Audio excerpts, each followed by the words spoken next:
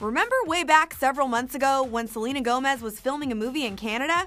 Well, guys, the first poster for the film is out, and we've got a quick little look. That's up next.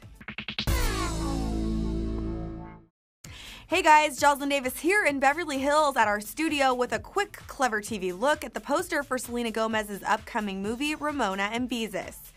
A movie poster featuring Selena and her film sister is finally out. It's super cute and reads, A Little Sister Goes a Long Way.